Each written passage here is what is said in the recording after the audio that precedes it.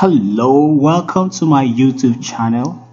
Uh, if this is your first time of bumping into this channel, please I would really, really, really plead that you subscribe to this channel and also like my videos. Support this channel. It's just growing up.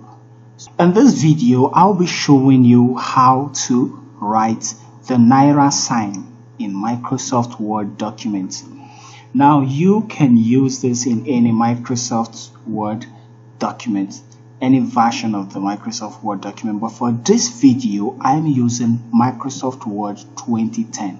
So let's say I want to type, let's say 1000 Naira. What you do is, let me, let me, let me zoom this a bit so we can get a feel of it. Okay, what I'll do is I'll first highlight the N alone. Then come to this place. You see this place right?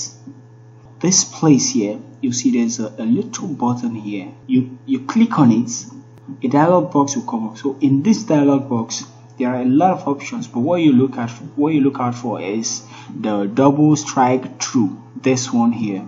So you click on it and then you see already in the preview in the preview box it's already showing the sign. So you click ok. And then you have your naira note sign. Alright if this video was helpful please give it a thumbs up like the video and share with your friends. More videos on the way. Thank you guys. Leave a comment for whatever you want to say. The comments is there. Thank you so much. Bye